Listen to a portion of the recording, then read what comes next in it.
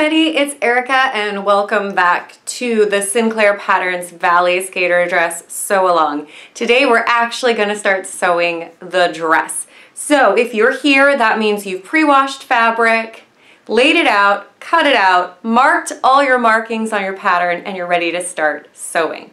Also, make sure that you have some way of looking at the tutorial that uh, Sinclair Patterns puts out with this free pattern. I'll put a link down below to the pattern just in case you don't have it yet and also to the first steps. This will all be in a playlist.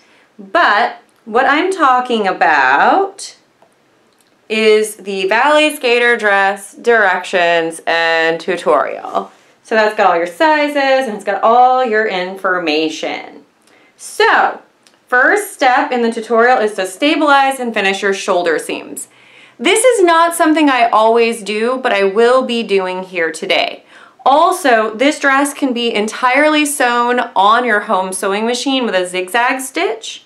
I um, would usually sew this on my serger, but for those of you who don't have a serger, I'll be showing how to do it on a home machine. So, stabilize shoulder seams. What does that mean?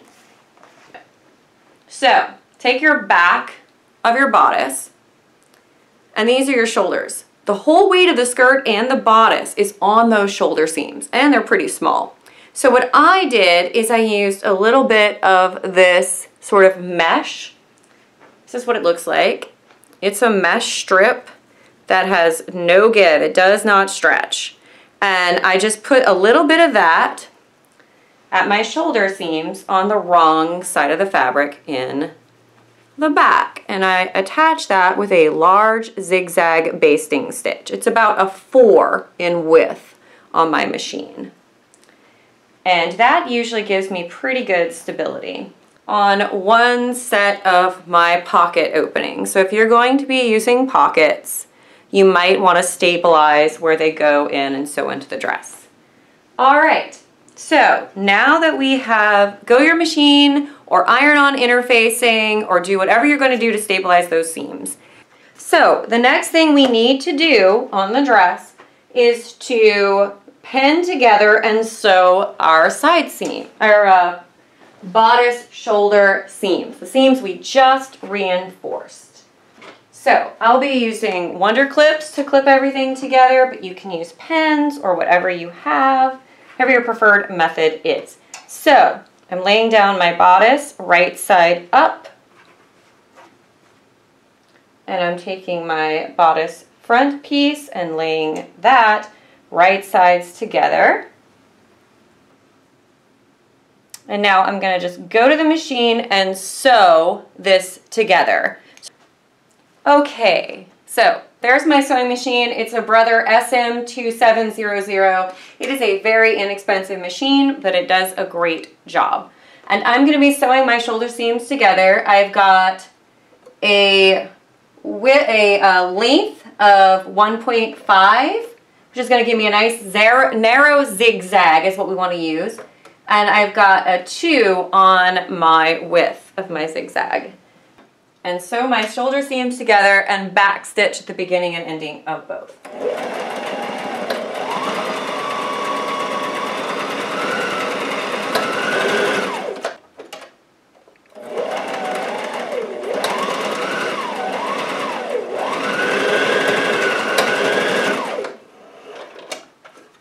Okay, so this is our neck of our. So now we need the neck band. So it's going to be this long, skinny rectangle. And what we want to do, and I'm not going to actually move the camera and show you guys this part. We want to just sew together the short ends to make a loop. There's our sewn together ends. And here is our loop turned right side out. Now that we've got a loop, we want to fold it in half so the long sides are together and get that folded all the way around. Depending on what type of fabric you're using, you may have more or less success trying to iron all this in place. So once you have that folded over, match up where you put your seam and fold it like that. Do you see how the seam's here and then this is the unseamed side? This is half. This is the exact half of my piece from my seam. You can fold it again just to really check it and make sure it's exactly in half because we're going to be quartering this. So I'm going to put a clip here at that top area, which is, that's my back with the seam, that's my front. And then I've got on each corner, I'm to mark that. Okay, so now we need to transfer that to the top. I marked my center front and center back in yellow chalk. And I'm to put a pen through that chalk mark in the front and the back. So that's that marked. Now I'm going to take and bring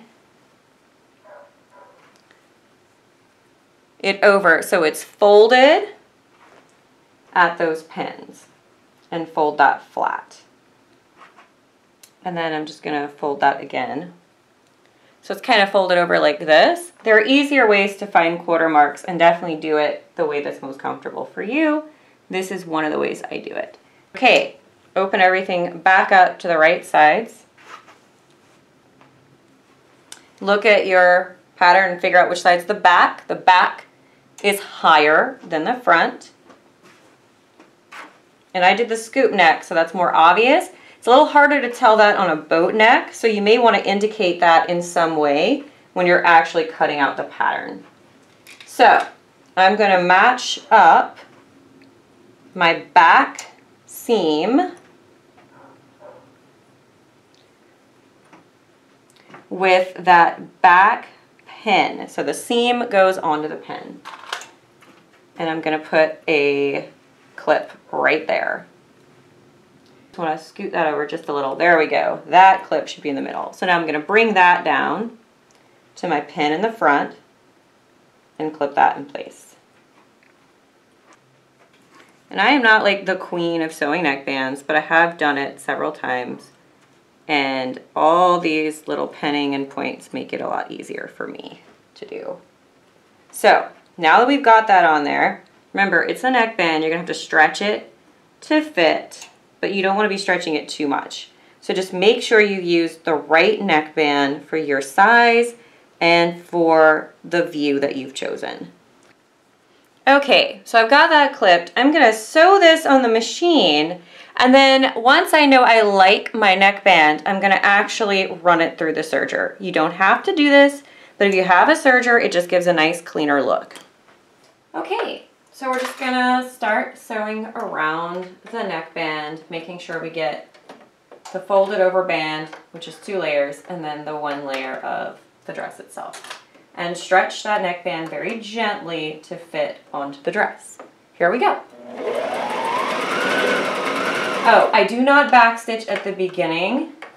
I just start sewing and then I will just sew over the line at the beginning when I get to the end. Okay, I'm back. I have sewn my neckband and I actually went back in and serged the seam allowance. So, so the serge the seam allowance. You don't have to do that on yours, but I just think it makes a very neat look. This is my favorite way of doing sleeves is in the flat like this. I don't like sewing in sleeves in the round and knits. I don't think it's necessary and it's a complication I don't need.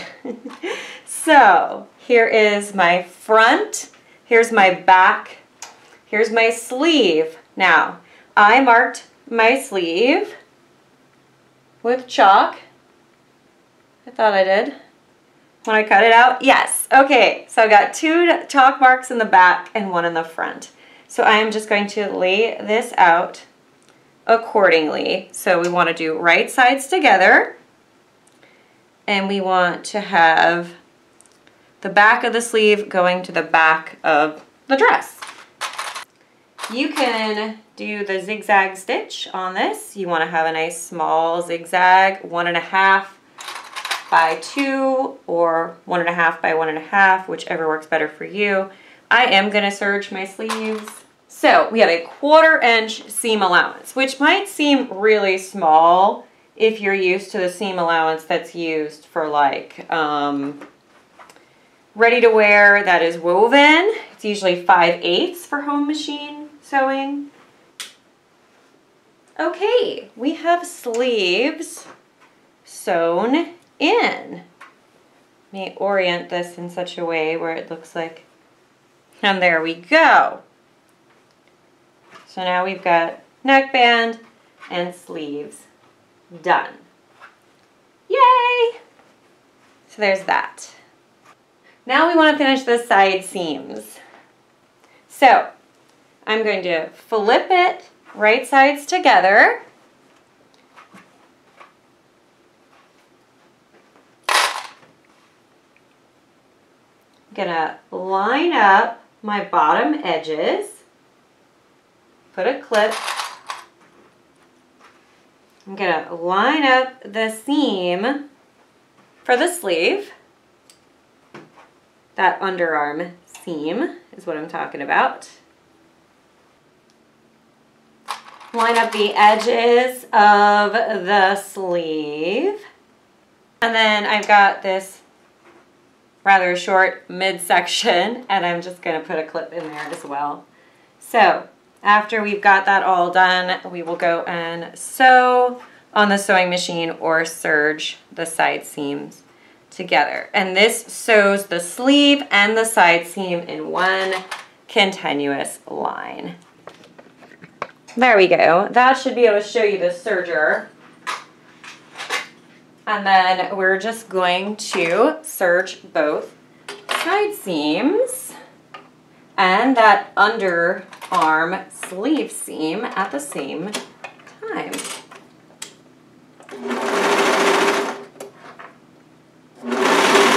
Quarter inch seam allowance.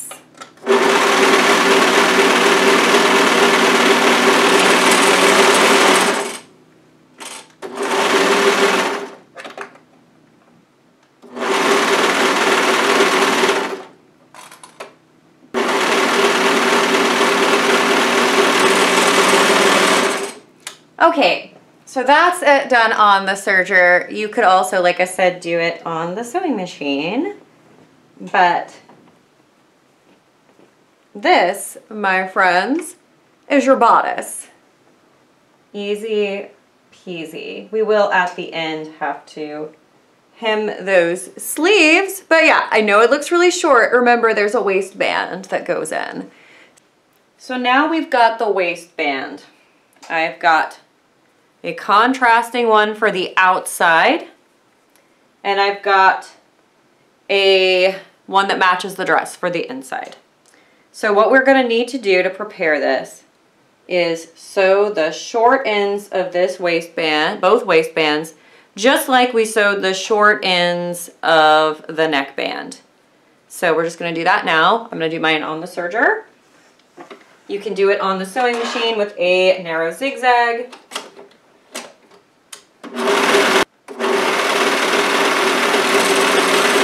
Okay, so now we've done that. So now we need to attach these bands to the bottom of the bodice. The inner waistband is going to go on the inside of the bodice and the outer waistband is going to go on the outer. Now, let's start it inside out first. I want when I'm wearing the dress, the waistband on the inside of the dress to show the pretty side. So I don't want to sew this right sides together. I want to sew it so it is wrong side to right side, wrong side of the dress to right side of the band. So when I turn the dress around, the bodice is showing the wrong side and the band is showing the right side. I want to attach the waist, the, the short end seam to the waist seam, not the waist seam, the side seam to the side seam. There's only one seam in that waistband, so I want to quarter it. I want to half it first and mark that with my pen. And that pen marked half is going to go down and hit the other side seam of my dress. And now we just want to make sure that it fits all the way around the rest. If we used proper seam allowances, we should be okay. And it's a knit fabric, so if we have to make it work a little bit, it's not the end of the world. And then we want to get it to match up over here. All right, that's done. Now we want to turn it right side out, like so. Okay, and now we want to lay down the good waistband, the outside waistband. In my case, it's a contrast navy blue, and we want to do that the same way. So we want to find the half point and mark that. And this is done like a regular waistband. So it's just right sides together. And now we're clipping through all three of those layers. I'm sorry this is not the most clear. It's one of the weirdest things to do. To tell you how to do, but it's really easy to actually to do, and the directions are very clear. So, uh, now you've got choices here. You can just baste this all around, which is what I'm going to do, and then sew it a second time with like a narrower stitch. You could sew it the second time with the serger, whatever you are most comfortable to do. But the double waistband gives you a nice finished inside of the garment. But because this is kind of an important step, I'm gonna baste it in to make sure there's no surprises and then go back through the second time and serge it. That also makes sure that you're catching everything because you don't want to only have sewn the inner waistband or the outer waistband and missed one of these layers since there's three layers. This is definitely the point where having a medium weight to lightweight fabric really comes in handy because there's some bulk there. I'm doing a big zigzag to get this basted down.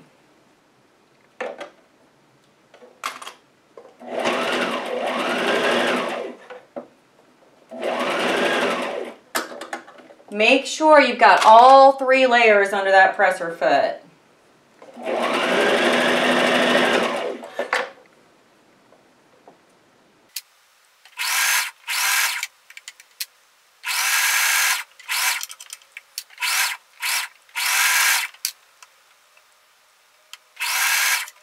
did just fine.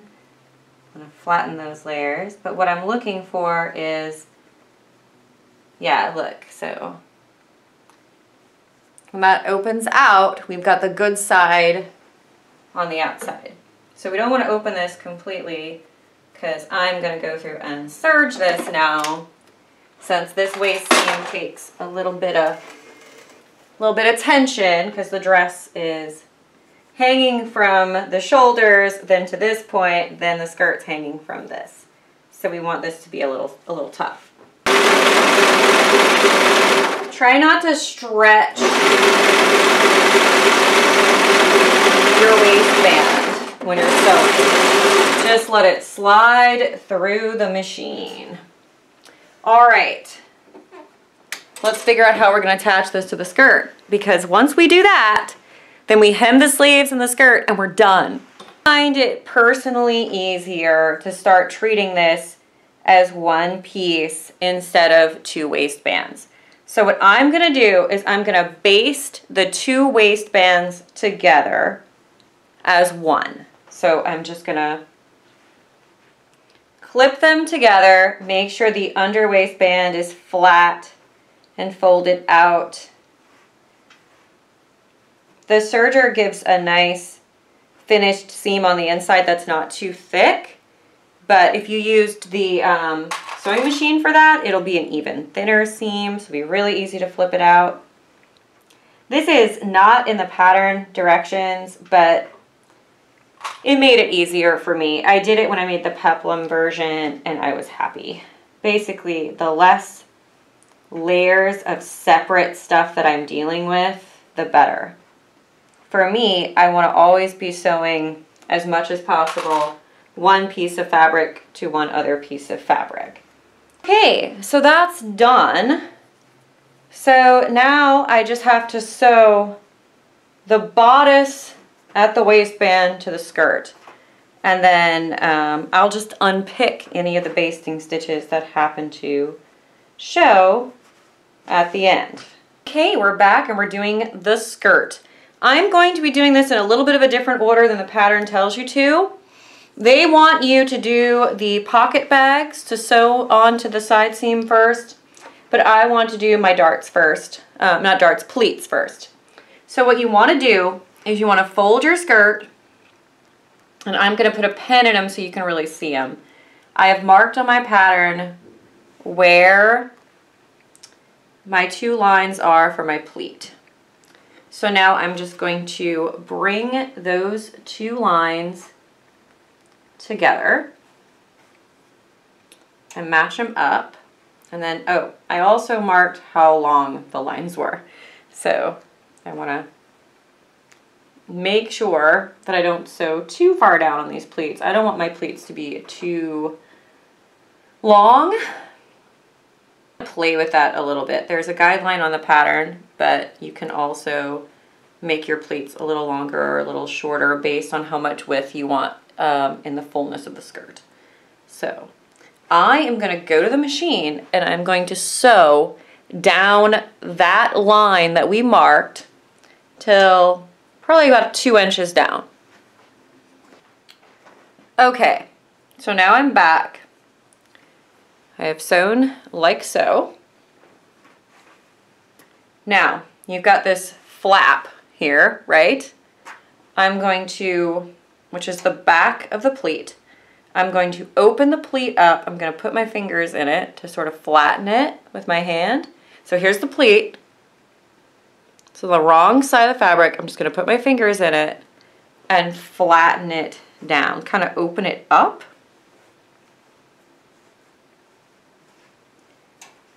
And then lay it flat on the wrong side of the fabric at the waistline. And I'm going to pin it in place. And we are going to baste over that pleat so that it stays. But what I will do right now is show you guys what it looks like on the front. So see, got this nice little pleat. So on the back side, we're just going to sew over that area to keep that pleat flat. I'm using a basting stitch, so I'm using a straight stitch on the machine in the three width and the three length and that is within the seam allowance for the skirt. And there's my line of basting stitches and there's my cute pleat on the front. You're going to do that on the other side of the front and you're also going to do it on the skirt back. These skirts are exactly the same on the front and the back. What I will show you guys really quick is the pocket. So you're going to lay your skirt down and there's your side seam. And I have a mark here that's going to be hard for you guys to see, but it's where I want to put my pocket. And I'm just going to lay my pocket down. There's a straight edge on the pocket and there's a curved edge. The curved edge goes in to the skirt and the straight edge lines up with your side seam of your skirt. And you just want to sew down that. And I use a zigzag at our normal zigzag length. So the one and a half and the two. And I'm just going to sew that down and then I'll come back after I finish the whole of the skirts and show you guys the next step. Okay, so we're over here, excuse me folks, dry today. All right, we're at the serger. In fact, I'm gonna have some water. stay hydrated. I'm keeping my seams facing towards the inside of the dress. So away from the pocket.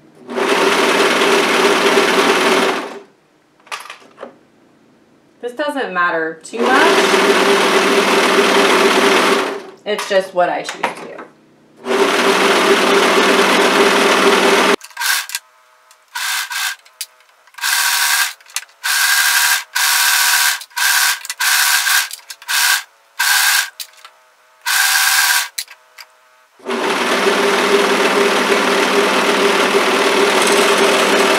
Okay, so now that's sewn. So let's say we want to reinforce these pockets. I'm gonna go where the, here's the skirt, here's the pocket. I'm going to go through and just stitch over with a zigzag and back stitch right where the pocket meets the skirt.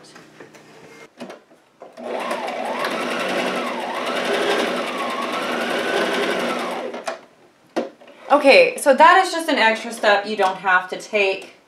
Um, I don't use my pockets a ton, but I still do that just in case.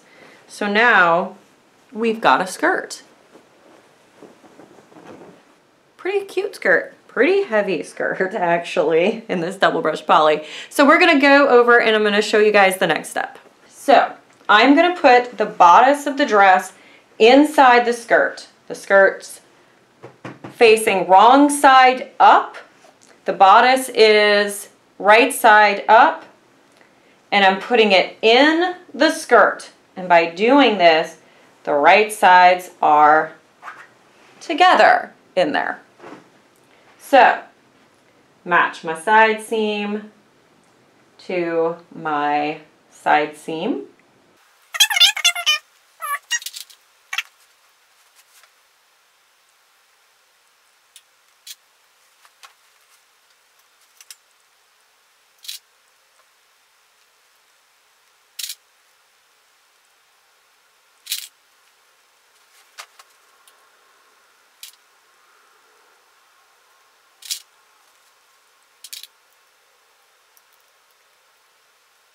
So that's all clipped together. So now I'm just gonna sew that seam.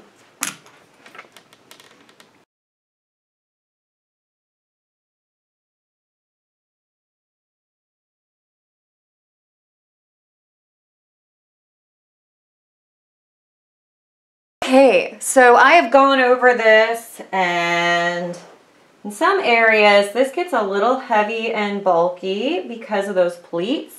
So even though I trust my serger, I am going to go back over the whole seam with a two and two zigzag stitch because I want that waist seam to be nice and strong.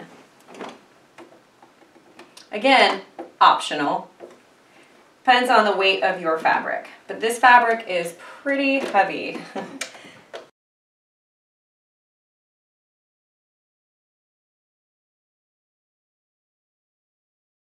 You just have to try it on, decide on how much hem allowance you need, how much hem you want, decide um, how much hem you want on your sleeve. Just turn those up, hem them in your preferred way, and we've got a dress. Yay! Thank you guys so much for being part of this. I will do my finishing off camera. And the next time I see you, we'll all be talking with our new dresses on. Bye!